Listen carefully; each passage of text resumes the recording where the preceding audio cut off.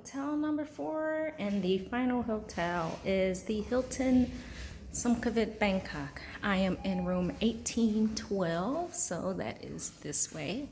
They upgraded me to the executive floor and I get all kinds of perks with this. I am so excited.